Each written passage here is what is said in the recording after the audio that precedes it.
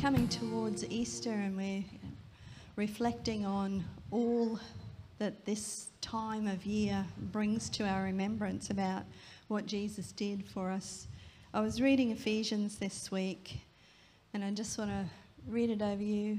Father, we just, we just um, quieten our hearts before you. We're so privileged to be meeting together as your people in this place. And we give to you all of the things, the concerns of our hearts, the things that are troubling us, whether it be in the physically or emotionally. Father, we give all of those things to you and we set our gaze upon you. We turn our hearts and our affections towards you. So I'm just going to read Ephesians. This was from Paul. And he says, My name is Paul, and I was chosen by God to be an apostle of Jesus the Messiah. And I'm writing this letter to all the devoted believers who have been made holy by being made being one with Jesus, the anointed one. I'll just read that again. To all the devoted believers who have been made holy by being one with Jesus, the anointed one. May God Himself, the Heavenly Father of our Lord Jesus Christ, release grace over you and impart total well being into your lives. Every spiritual blessing in the heavenly realm has already been lavished upon us as a love gift from our wonderful Heavenly Father, the Father of our Lord Jesus, all because He sees us wrapped up in Christ. This is why we celebrate Him with all our hearts.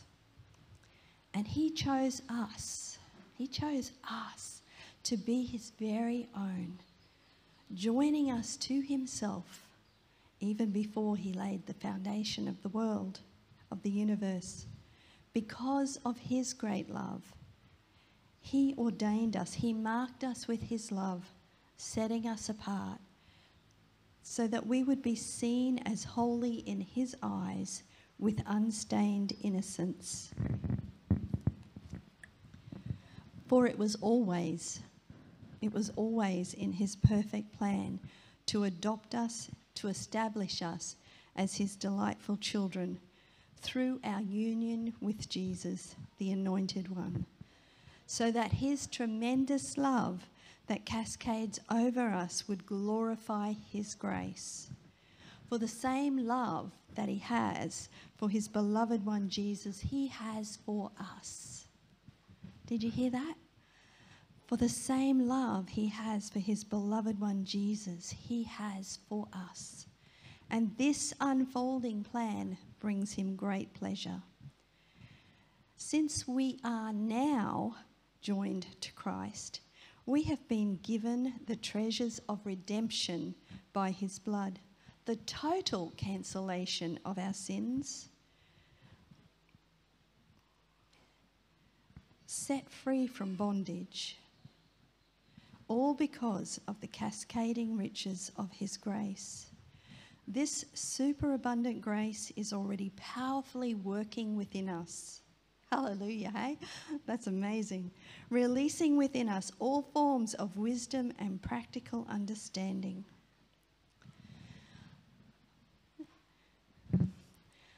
Let's celebrate the let's let's just in, encourage I encourage you to just celebrate the one because this is amazing grace, isn't it? This is amazing. We did not deserve it but He has set His love upon us, and we get to respond to Him. Let's respond.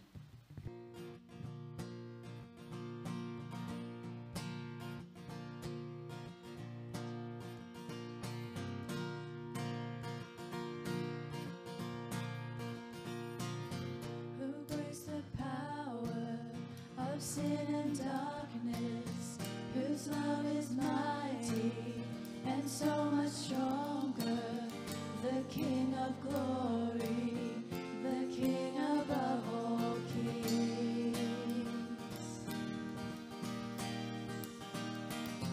who shakes the whole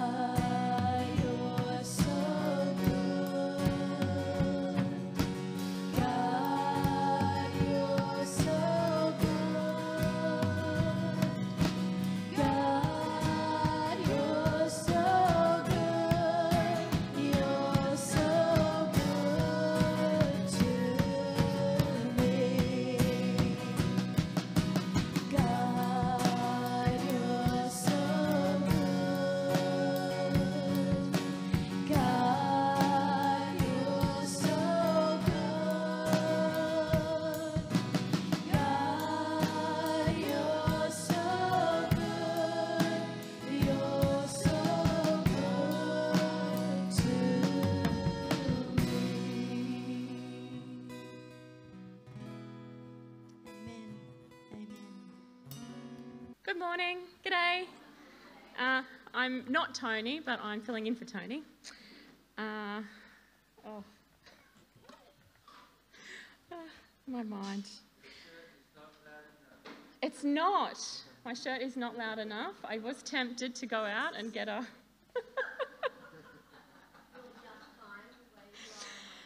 oh, why am I here? Um, please, please join us for a cup of tea after the service. You're very welcome for a cup of tea or coffee and some biscuits. Um, from the bulletin, uh, the Mission Support Committee meeting has been rescheduled. So ordinarily it would have been on uh, this coming Monday, but it's been postponed until Tuesday the 19th, so that it's after the school holidays. Uh, so it's um, at 1 p.m. in the Oasis room for anyone who's interested in coming along. Uh, good morning, Gwen. Uh, we still uh, possibly need cleaners. We might have one option, but uh, we still, if you know of anybody who might be interested in um, doing some volunteer hours, please see me or Rhys or any of the um, diaconate and um, talk to them about uh, what that involves. Uh, Gwen is looking for meals still for Gary and Leah. Oh, she's got enough. Okay, Gwen's got enough meals. Um, and I'm still working on the directory. So if you're new to church or you need your details updated or a new photo, uh, just see me after church. Oh. Oh, whoopsie, yes. And the Good Friday service is 8 a.m., not p.m., as the bulletin says. Sorry. Whoops. Lol. um, oh, um, tithes and offerings. Uh, this is a, a, an opportunity for us to give back to the Lord a little bit of the goodness that He extends to us. So um, the details will appear on the screen for those people watching at home. And um, everyone else, you know, you've got the details, so thank you for that. Um, family news, we have uh, Jeff Smith, who's um, got a bit of a medical thing happening on Tuesday, so keep him in your thoughts. Uh, Jack Pantlin is recovering in St Stephen's Hospital, and while um, having visitors is quite limited, he's um, very happy to receive phone calls. So if you want to give Jack a call, um, at St Stephen's, I guess you just call their main line and then ask to be put through. Oh, oh Gwen's got his number for anyone that wants it. Um, uh, Bev and Robin are both a little bit unwell today, and Robin thinks she might have to have some sort of uh, surgery on her shoulder at some point in the future, so keep her in your thoughts. And yeah, and uh, I'll just. Uh, welcome you to join me in a time of prayer. So, um, Father, we just thank you for all of these beautiful people. Um, we thank you for Jeff and for Jack and for Bev and for Robin, Lord, and we bring before you any other people who have need of prayer this morning, Lord. And we just, we thank you for your graciousness that you extend to us, Lord. Father, we think of those in the Ukraine, Lord, and in Russia who are suffering. Lord, we think of uh, people who are still in floods or recovering from floods across the whole south coast, I mean, the east coast of Australia, Lord. Um, it just baffles the mind to think of the, the chaos and the the cleanup and, and the heartbreak that those people are going through, Lord. So we just bring them before you, Lord, and we trust you to um, love them and look after them in this time. And we just pray these things in Jesus' name. Amen. Good morning, um, church family. Um, I'm on Mission Spot today. This is my first time on Mission Spot. and today we're thinking about Carl and Gail Musch. I think that's how we pronounce it M U S C H. Has anybody met them? That, uh, yes, so um, Carl sent me a nice long letter and with some photos, which is going to be on the board over there. Don't forget, we've got Mission Corner over there. Um, so anyone who wants to take it home and read it all, but just some special points. Um, they work, we've got Carl up there, good. They're working with the Aboriginals. Just looking to see what they've got up there. Right.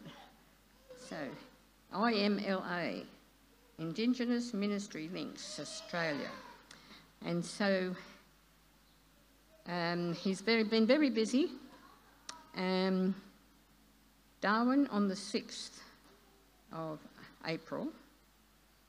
Uh, so that's just a few days ago, isn't it? And then um, Katherine on the 7th, and the Basic Planning meeting on the 8th, and then Tennant Creek on the, from the 9th to the 15th. Um, and then um, he goes to uh, Yuendumu on the 17th, and a question mark about Alice Springs for the 20, 19th to the 22nd. Um, and then on the 22nd, he's written, I hope to fly to Brisbane to meet up with my two daughters who will be at a Gold Coast ministry conference and over the rest of the week, week, week meet with some Southeast Queensland ministry partners. So as you can see, he's very, very busy. Um, and then later in June, they'll have these Beswick revival meetings and a conference. And then just another up, up ahead in August, we could pray about this. Their younger daughter, Joy, who is in charge of children's ministry in a church on the Gold Coast, is getting married. And so we need to pray for that couple. And then we're planning a Northern, Terri- Northern Youth yeah, Regional Greeting Gathering for a week in early October. So Carl and Gail, his wife, um, she works, I think she may be a school teacher or something because he said something about spending some time with her while she's on holidays.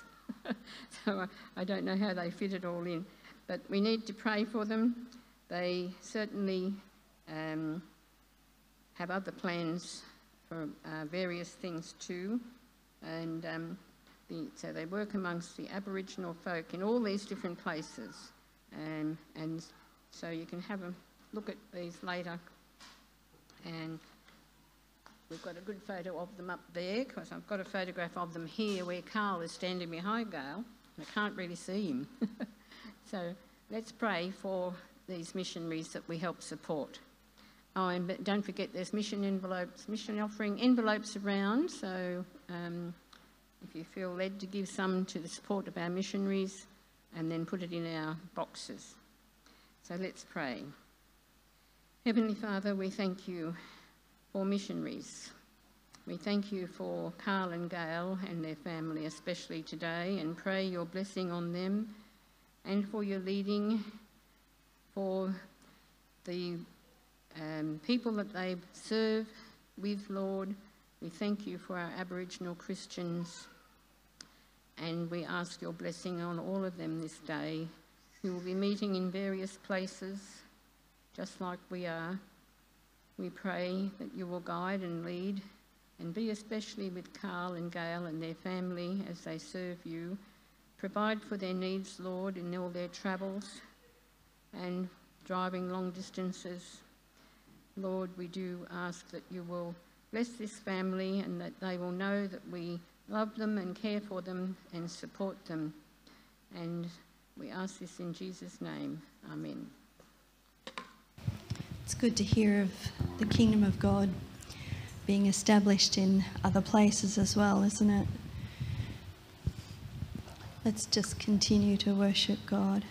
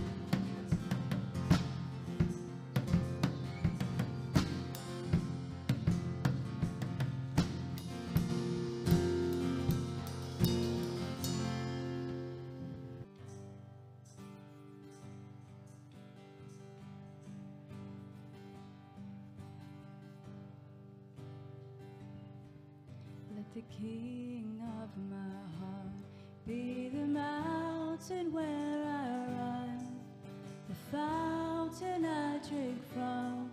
Oh, He is my song. Let the King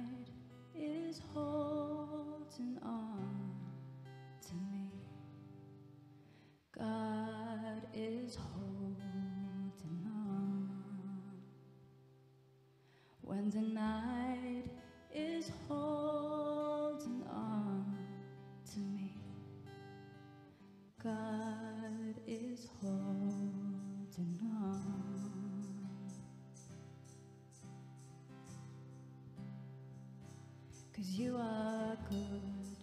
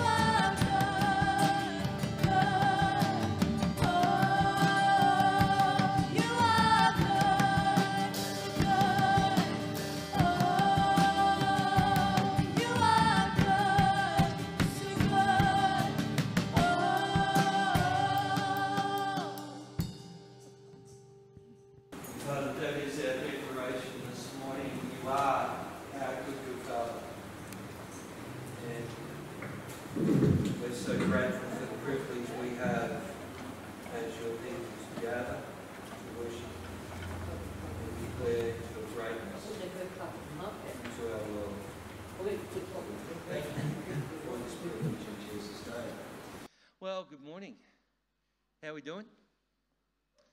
Good to see you all. And our online family, g'day.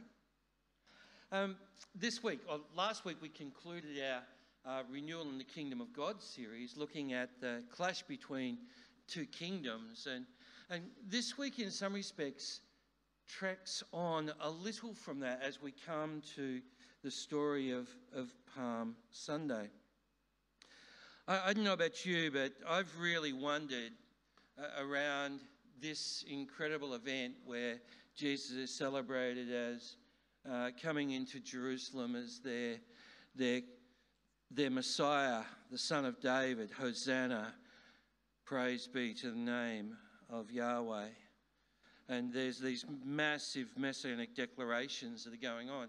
So here he is coming in to Jerusalem as a hero. The people are turning out, they're laying their cloaks down, the palm leaves down, and he goes from hero to zero in a week. How, how does that work? What actually happened? Why? Why? How did that work? And when we start to look at the clash of two kingdoms, the, and if you have a look at the, the final week of Jesus' life, which is called these days Holy Week, and, and I would encourage us this week that we spend some time in Mark's Gospel from chapter 11 and following, and, and we look at, at who Jesus was talking to and what their story was.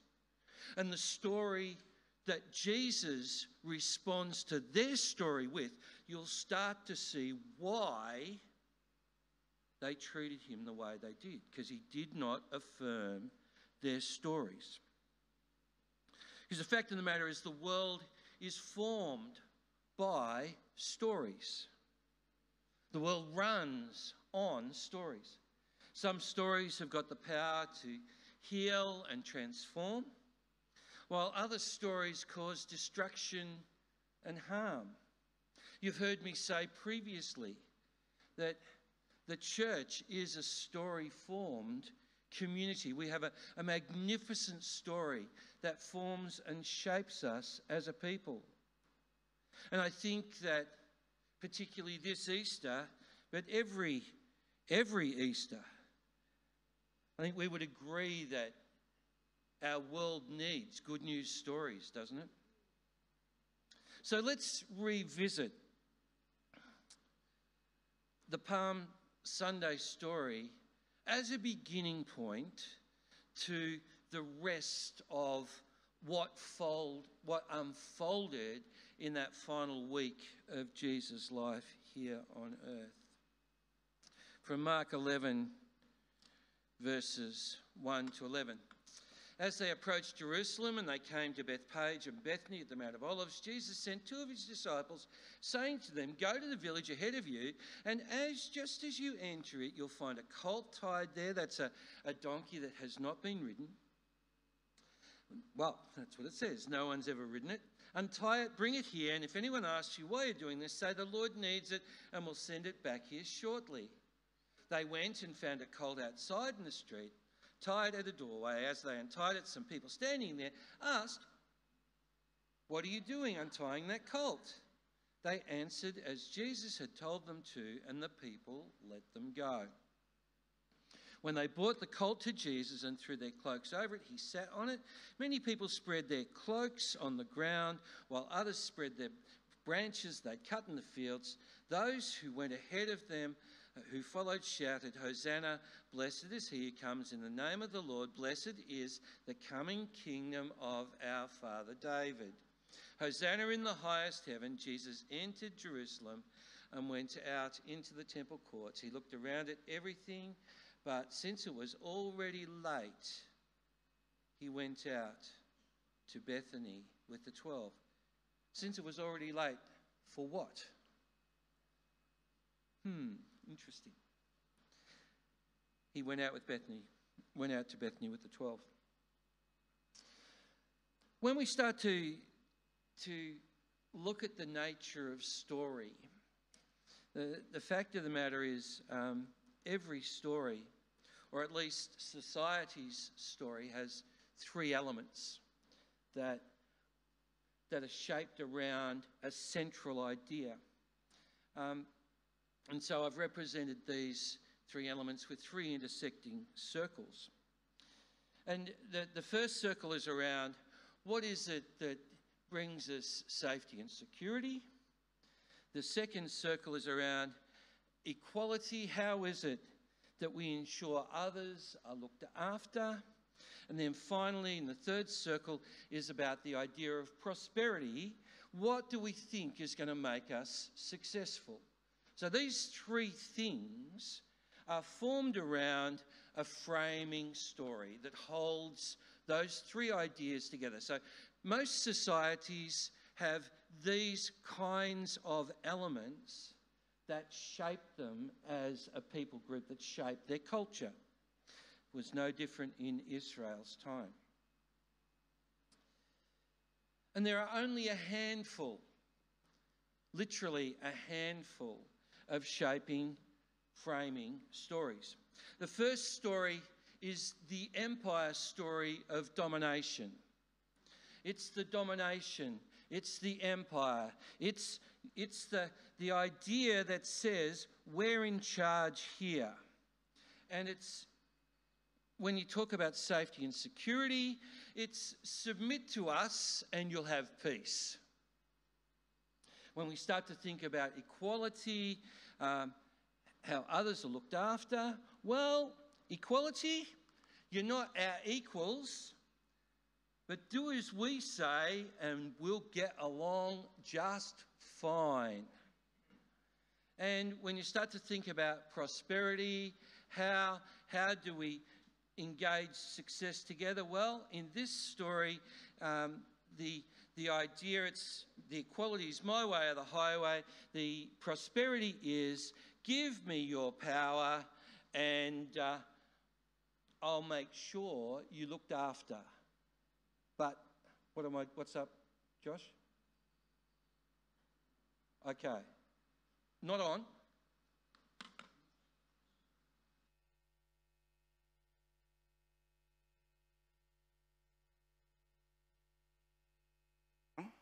Oh, well, we'll, keep having a go. Thanks, Josh. Very, very good. Um, so, so we've got these, these three ideas um, of safety and security, equity, prosperity. this is a very, should be a familiar framework for us to think in because it's the story of the US or the story of Russia in Ukraine. It's the story of China. It's the we're the big boys in town.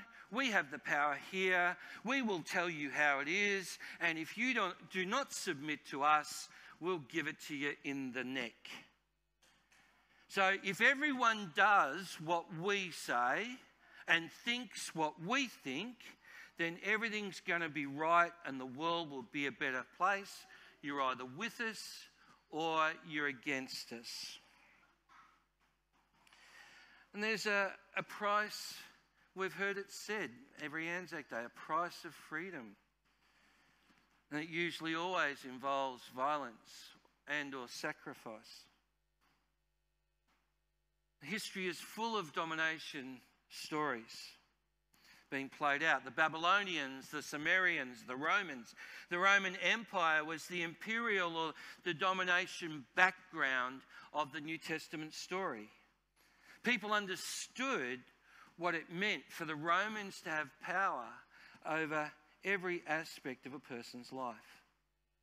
Power and violence brought peace and security. People submitted to Pilate not because they liked or loved him, but simply he was the power. Caesar was often talked about being the people's savior or a liberating king, yet the Messiah is the Jewish word for Saviour. Christ means liberating King. Jesus was called the Christ not because that was his name, but rather he is the liberating King. Maybe we should call him Jesus the Liberator. so that we get a sense that Christ is not a title. Sorry, a title, it's not his surname. So the Jews didn't want to be part of the domination story of others. They desired the right to self determination, which leads us to the next story. And the next story is the victim story, which is the story of the oppressed. This is the promise that peace and security will come through the violent overthrow of the oppressors. So, equality is measured by commitment to the cause. It's a you're with us or against us, but with a twist. And prosperity, well, that's all about revolution. It'll be fine when we get these dirty, rotten Gentile Romans out of here. It'll be fine if we can sort out the, uh, the Tutsis and get rid of them. It'll be fine if we, if we get rid of these Jews in World War II, the death camps of Auschwitz and others. Rwanda, where the, the fundamentalist groups came through. Well, actually, I'm sorry, I'm jumping into the shame blame story. But this, this story is very much the story of the Jews, but it's also very much the story of ISIS and the Taliban, where they, they're upset with Western oppression. And many Jews operated out of this story. They never forgot what happened 167 to 160 BC between the Jews and the Seleucids when Antiochus Epiphanes, Antiochus IV, he comes in, he, he boils a pig in the laver in the temple, desecrating it, and tips it over in the temple.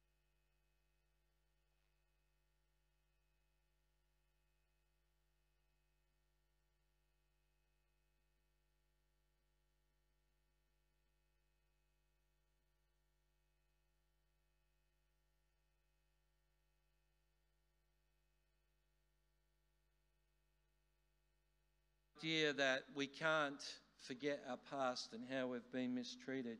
We have to fight back. Now, terrorism might seem like a fairly new idea to us, but it's been around for a very, very, very long time. I mean, the zealots in Jesus' day, they practiced terrorism. They carried long Sicarii knives, very cur- curved, long Sicarii knives. They were called Sicarii men and they sneakily attacked Romans whenever they could. They disagreed with the oppressors and they believed the gulf between Roman and Jew could only be overcome by violence. So there's this unbridgeable uh, division between them and us. Uh, they've died, have they, Chris? Okay. Cheers. Yeah, no worries.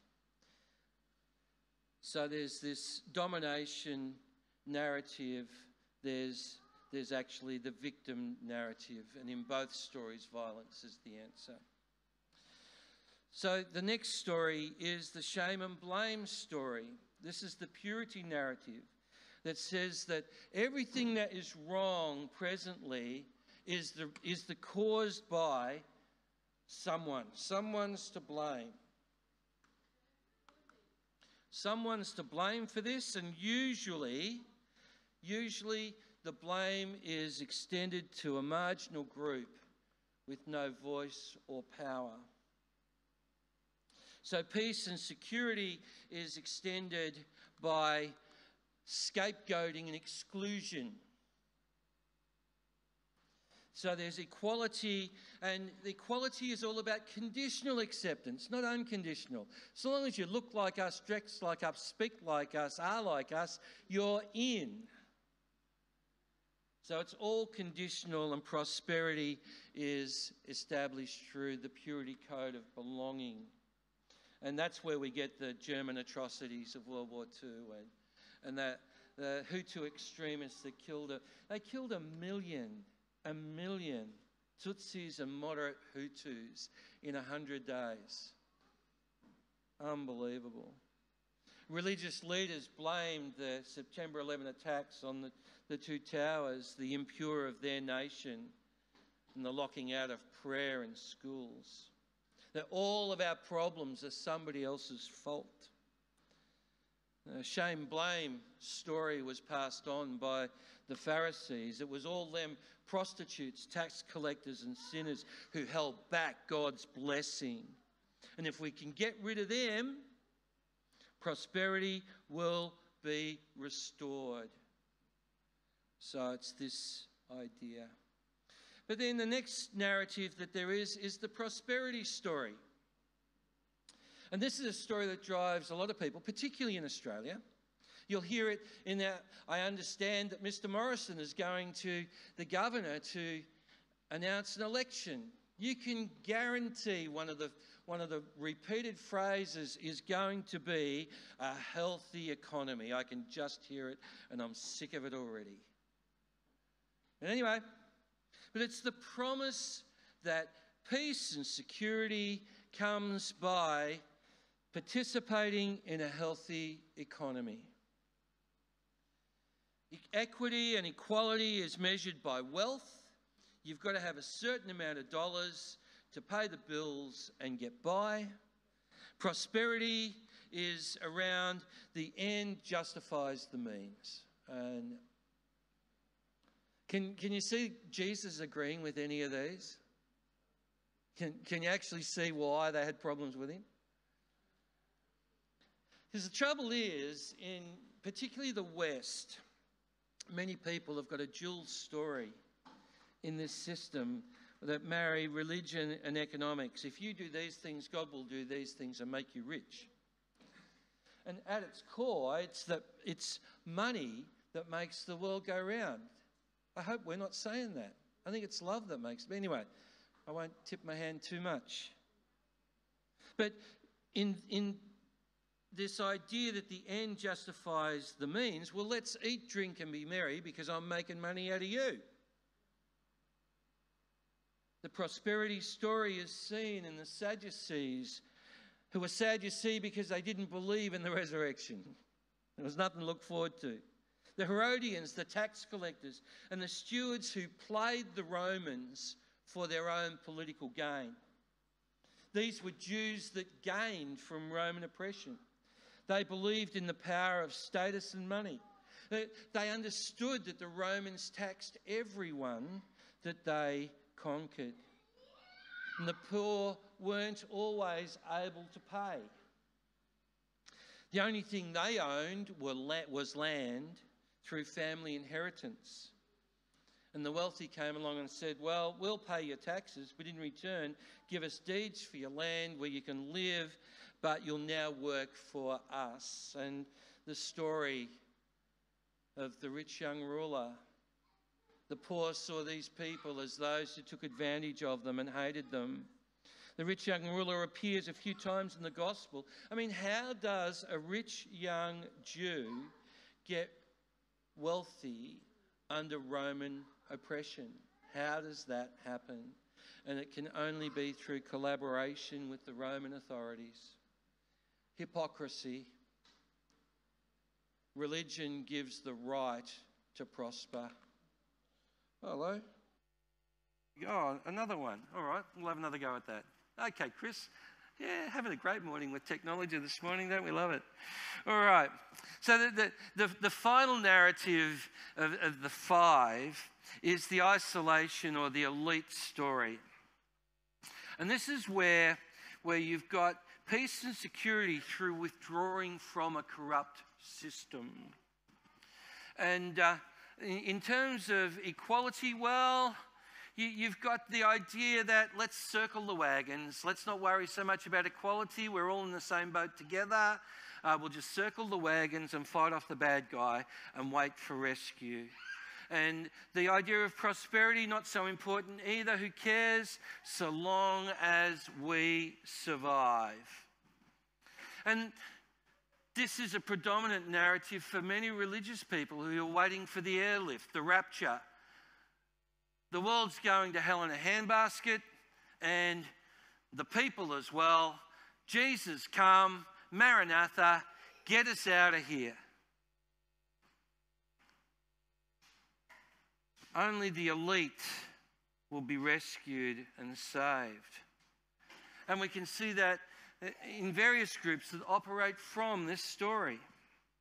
They might form an enclave in a city, gated communities are all the rage to keep the unclean and the orthodox out. I mean, we don't hear much about the elite isolation story directly in the Bible, but there's lots of archaeological evidence for them around the Dead Sea Scrolls and the Essene community. People who withdrew to the desert and didn't want to have anything to do with the rest of society. There's no hope, so we'll withdraw and form our own culture and we'll wait for the final scene to occur. And theirs was the power of discrimination. Now, all of these stories were at work and active during Jesus' day. And if you read from Mark chapter 11 and onwards with this, these frameworks in mind, and you see the, the chief priests coming to Jesus who considered themselves the dominant influence, well, in the Jewish world they were, but saying to Jesus, So what's your story? And Jesus said, Well, hang on a minute, just a second. You tell me your story, I'll tell you my story. And they didn't. And then you've got the Pharisees coming with the, the, the coin. Who do we pay taxes to? What's your story on the law? And Jesus says, Well, it's not love of the law, it's the law of love. And then it's the Sadducees, the, the Herodians, the stewards coming to Jesus saying, What's your store on relationships and wealth? Because it was wealth was not just about money, but their place in system and relationship. And whose wife will she be? And Jesus says, No, nah, no, nah, terribly sorry. God is not a God of the dead, He's a God of the living. And at each point, Jesus is undermining their story and their standing. If you look at the, those few chapters with this grid and see what you see now. I was talking to Albert at the start of the service, and Albert was saying, Oh, you know, how he, he now sees things in the scriptures that he didn't see years ago when he first started to read the scriptures for himself. It's pretty much like that for all of us. Because each one of us is shaped by one of these stories or another. And, and, we read it and we say, oh, yeah, this is what the Bible says. But eventually we learn to ask the question, what does the Bible mean?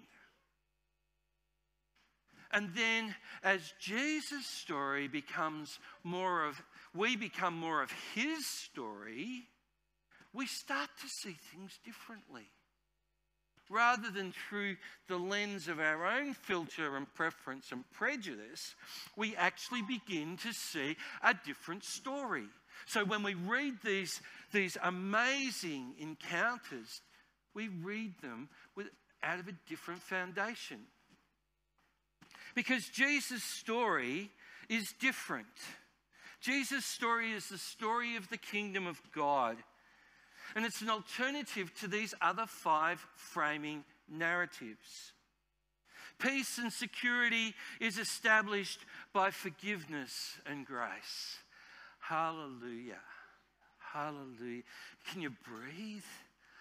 I don't know about you, but I struggled breathing through those first five. I had to get there to get here, but oh, I can breathe forgiveness and grace. Because, quite frankly, in those other stories, I just don't measure up at all. I got no hope, no standing, no capacity. Peace and security by forgiveness and grace. The equity circle ensures others are looked after through the love of the other. Love limited only by honour and respect. And prosperity, well, prosperity is actually counterintuitive because we find ourselves as we give ourselves away. The first will be last, the last will be first. There's this idea that humility and selflessness is the way of the kingdom. We find ourselves in giving ourselves to others. It's the way of the kingdom. The kingdom story and the kingdom way is radically different from the elements of those days and many of our day. But sadly, while the crowds turned out to welcome Jesus and celebrate him as their long awaited Messiah, they tried to fit him inside of their story. And here is a profound truth for us who follow Jesus. Because if we don't understand the stories that we have lived in, we will perpetuate a gospel that tries to fit Jesus inside a story that is not a kingdom story. You see, the gospel calls us to deeply consider and ask ourselves are we following the gospel of the kingdom that Jesus inaugurated, or have we just bought into a gospel of personal salvation with a ticket to heaven in the context of our own story? What is it? What's our story? Jesus didn't proclaim another religion just to get us saved. He proclaimed and demonstrated a complete other kingdom because Jesus understood if you could change the story, you can change the world. We've talked long and hard about the nature of the kingdom of God over the last eight weeks in our last series. Hopefully, we now understand that the kingdom of God is an interactive network of relationships between the king and others and we enter his kingdom through repentance, which is metanoia, transformed, transform the way we think. And it's a call to rethink everything and believe the good news. Living in the kingdom of God is a new way of living. A new arrangement, a new story is at hand. You don't have to wait. Jesus said the kingdom has come near in time and space. In fact, we can now reach out and touch it now. Let's face it, I, I think all of us would agree that someday the poor should be helped, the rich should be generous, racism should end Refugees should be included. The environment should be cared for. And wars should cease. I think we'd all, wouldn't we all say amen? Would we all say amen to that? Would we? I think we'd all say amen to that. I think. Well, Jesus made that day this day. Jesus made that day this day. The good news is we can live this new way now, in freedom now, even before everything is right. Jesus says, I've got good news for you. You can live in this new hope right now. This is the message of Palm Sunday, the message of hope, the promise of hope. And the people cheered and laid down branches, but they didn't get it. And I have to confess, there are times where I struggle too as well.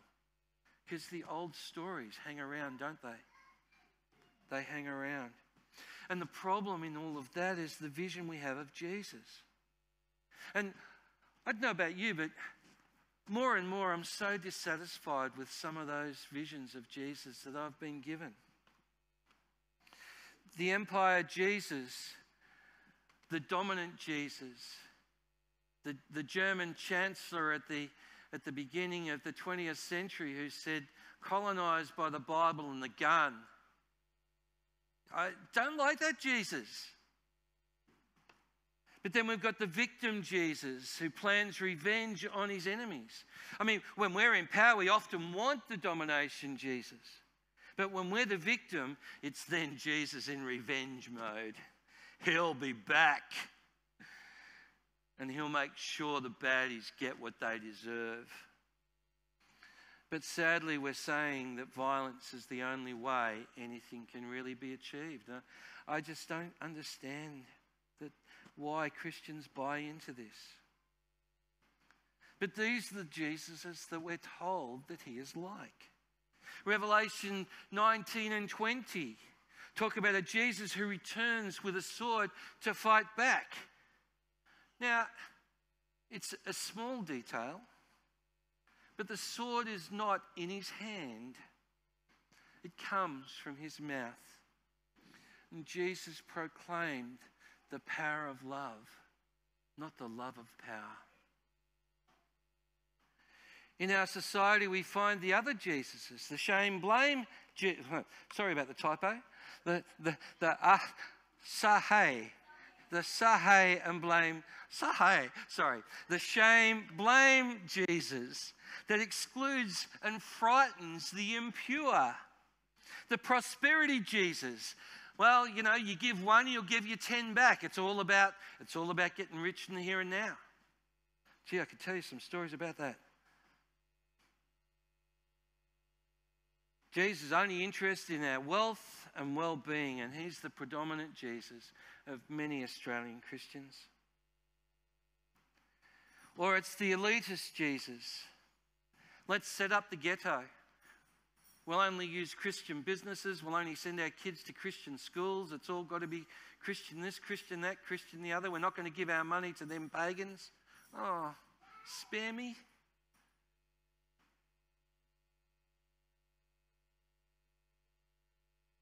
promotes a warehouse mentality.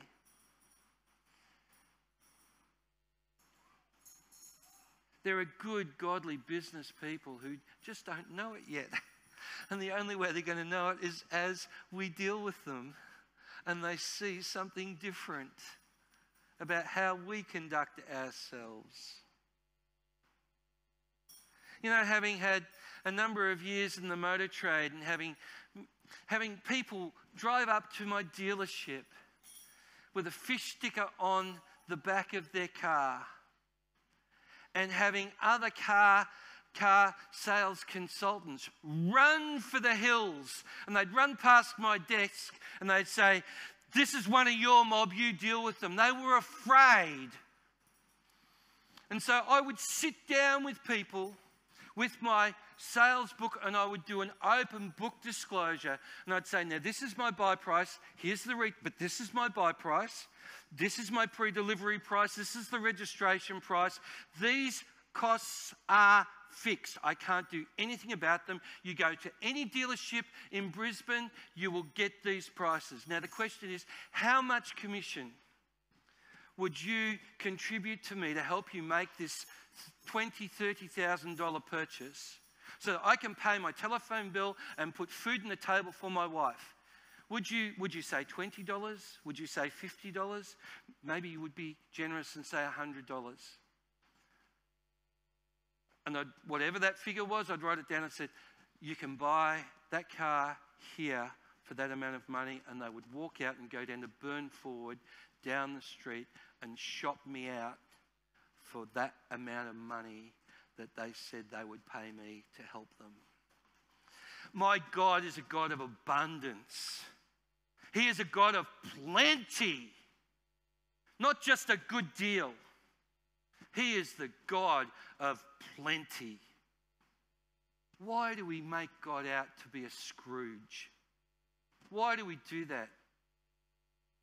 I'm sure, Anne, it would be the same for you at Vinnie's, where people come in trying to, oh, this is gifted to you. What are you doing putting this much money on it? I say, hang on a minute.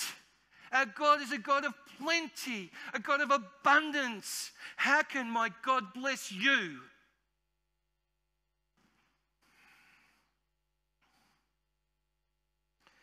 I mean, let's remember that this guy who arrived in Jerusalem on that day came on the colt of a donkey with a message of peace. And that his peace wins out over all other violence. And I hope we are more interested in this radical, undomesticated Jesus of that first Palm Sunday than one of these other guys that I don't recognize. He is the Jesus who proclaimed love, who extended grace and forgiveness, who offered himself in humble service to all as an expression of the kingdom of God, the promised hope for all. So I hope this week, in Holy Week, as you read through these few chapters, story by story, day by day, that this framework of story, of looking at who Jesus was talking to, how he engaged them, and understanding some of the why, it will help you deeply appreciate what we're going to gather on Friday to celebrate. And then afterwards, I'm going to talk to Shannon and Marilyn about grabbing some hot cross buns and some butter, lashings of butter with hot cross buns that we can treasure as a community the life that was poured out in death to bring us life. Because this is the crowning glory of his story. So, to reflect this morning, what stories shape your life? What are they? And are there any clashes? Because there are clashes, all of us. not one of us that doesn't have clashes around some of this stuff. And what will it, what will it look like for you to rethink your story? Where does mercy, compassion, justice, and loving kindness and faithfulness need to work its way out in your story? And finally, yeah, we know what the Bible says, but what does it mean? And what will it mean for you, for me, for us to do life differently? What will it mean? Let's pray together.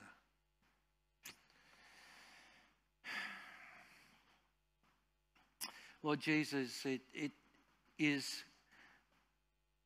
a mystery to me about the, the celebration that welcomed you in to Jerusalem and the trauma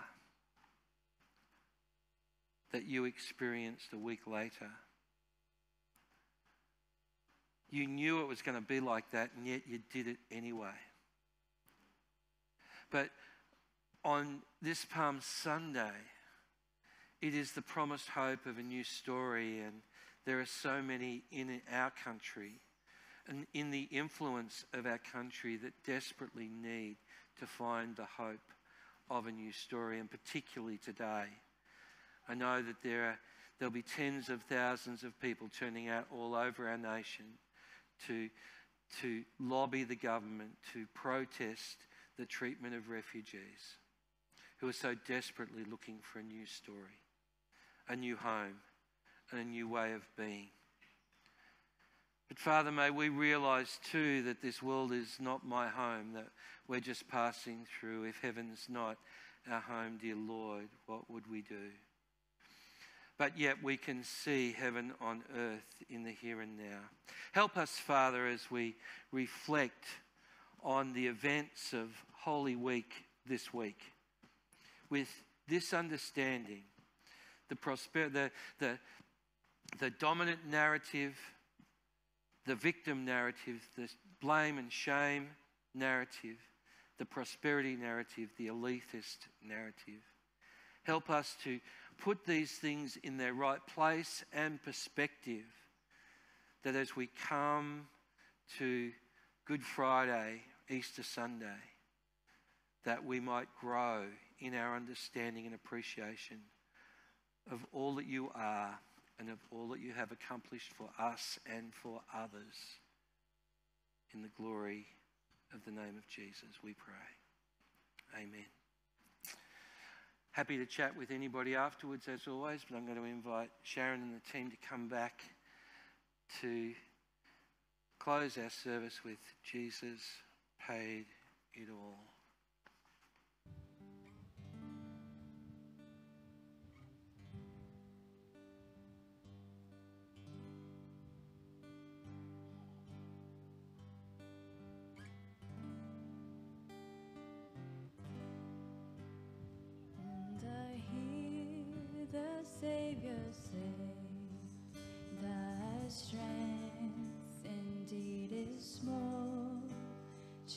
Of weakness, watch and pray.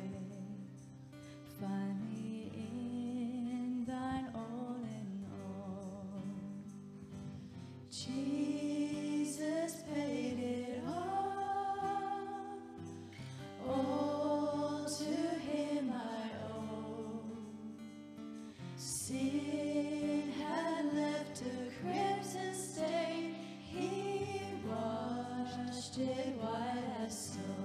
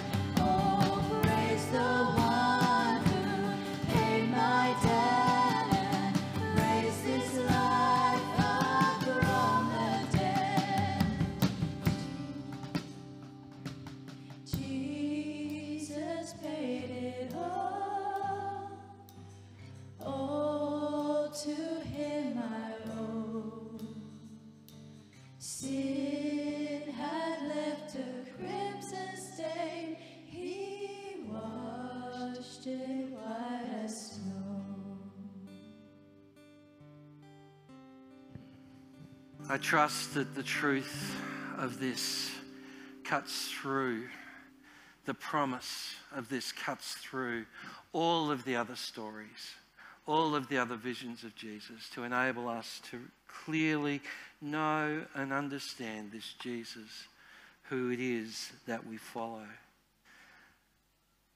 for the blessing of each of us. Thanks so much for joining us this morning to our online family. It's been great to have you with us as well. Please join us. No hot cross buns and lashings of butter today. You have to wait until Friday for that. But join us on Friday and as we go into the next step of our Easter celebration this year. Because Jesus paid it all. Jesus paid it all.